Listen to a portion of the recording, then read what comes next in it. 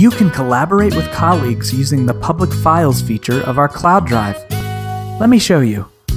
First, Tom will create a new folder in the Public Files section of Cloud Drive.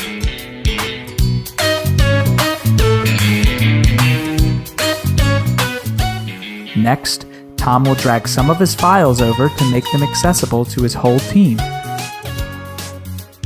Sure enough, Tom's teammate Ben can now see these folders and files in Public Files.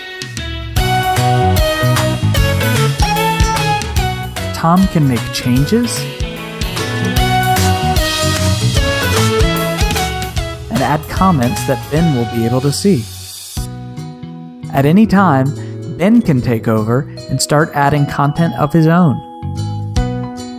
This is just one of the ways that our cloud drive helps you be productive together, anytime from anywhere.